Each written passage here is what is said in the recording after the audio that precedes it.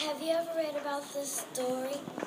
I mean, have you ever read about the? Have you ever read about the famous dog Balto? He lived in Nome, Alaska. Balto saved Nome because people people in Nome was getting sick of a disease called hypothermia.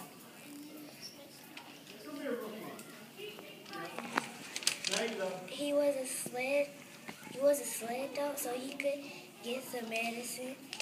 He could get the medicine 800 miles, 800 miles away. Balto saved. He, Balto saved. No, Balto. Balto was the most brave. Is the most bravest dog I've ever read about.